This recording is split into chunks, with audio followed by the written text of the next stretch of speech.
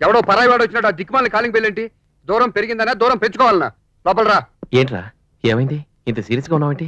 మొన్న నీకు ఇచ్చిన పాతిక లక్షల సీతకి ఇవ్వలేదా అది నేను ఆ డబ్బు చెప్పండి అలా నానుస్తారెందుకు? మీరు నాకు డబ్బిచ్చారా? నన్ను నమ్మడం లేదు. నేనేదో దొంగనని నమ్మి చేయి చేస్తున్నారు. చెప్పండి. చెప్పరా? దానికి ఇచ్చానని ఒక మాట చెప్పు. అది నా చేతిలో వస్తుంది రే ఏ మాట రవి? అబద్ధం చెప్పాల్సిన అవసరం ఆడికే పట్టింది. అంటే నన్ను క్షమించు. ఆ డబ్బు నేను సీతకి ఇవ్వలేదు.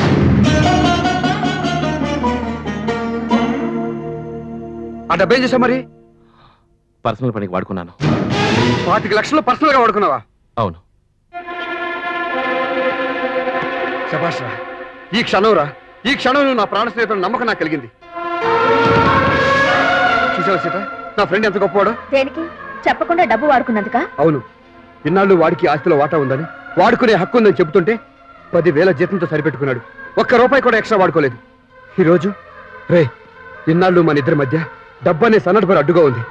ఎప్పుడు నువ్వు ఇదంతా నా డబ్బు నా ఆస్తిలాగే చూసావు కానీ మందని భావించలేదు. కానీ ఇవాళ నీది నాది అని తేడా లేకుండా మందని వాడుకోవడం బాగుందిరా. చాలా బాగుంది. పాతిక లక్షలు కాదురా. పాతి కోట్లు వాడుకో. ఇదంతా మందరా. మంది.